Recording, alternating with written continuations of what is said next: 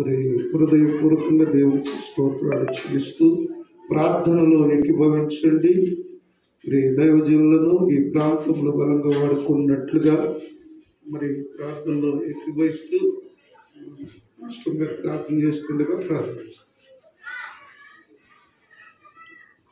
సకల ఆశ్రద కారణభూతుడమైన శ్రీ యేసు మహారాజా నీ పరిశుద్ధమైన ఘనమైన శ్రేష్టమైన నామానికి ఉదయకాల స్తోత్రాలతో వందనాలు చెల్లిస్తున్నాము తండ్రి.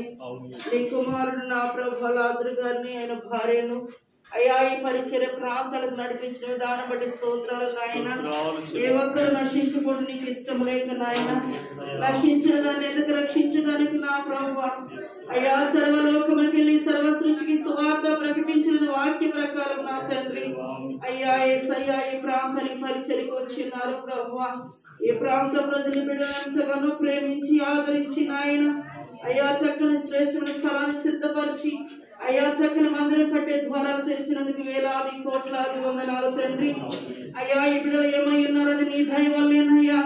ఇక్కడ సాగుగా జరుగుతున్న సమస్తము నీ ప్రభు వల్లే ప్రభు పరిశుద్ధాత్మ ఈ ప్రాంతంలో బలమైన హస్తాలతో దైవజనులు ఎత్తిపట్టి వాడుకోండి నా ప్రభు అనేకలకు ఆశ్చర్యమైన మందిరంగా ఈ మందిరం ఉండాలి ప్రభు సమస్త జనులు ఈ స్థలంలోకి వచ్చి నేను రక్షణ పొందాలి నా ప్రభు అయ్యా నీ కాదు సకల జనులు సాగిలిపడి నమస్కారం చేయాలి నాయ అయ్యా ఏసై ఈ మందిరాన్ని నీకు ప్రేమించడానికి ప్రాంతానికి వచ్చి ఆదరణ పొందడానికి స్వస్థత పొందడానికి అద్భుత మందిరంగా తీర్చిదిద్దబడాలి నాయన.